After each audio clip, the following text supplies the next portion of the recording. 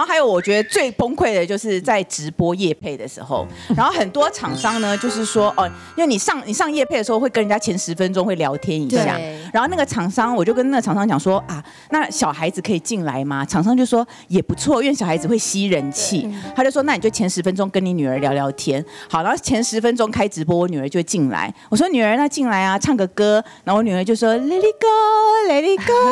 什么这样。然后他就看那个荧幕上好多爱心飞飞飞飞飞，然后我就说哇，好多人觉得你好棒，一直爱心哎，然后我女儿就说那我再唱一首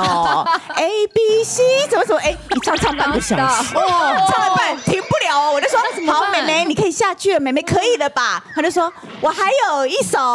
然后一直他一直唱唱半个小时，他把它当 KTV 就对了，因为。就是有很多人说很可爱什么的，然后连厂商的那个暗装啊，都在这边留言说浩如姐可以进产品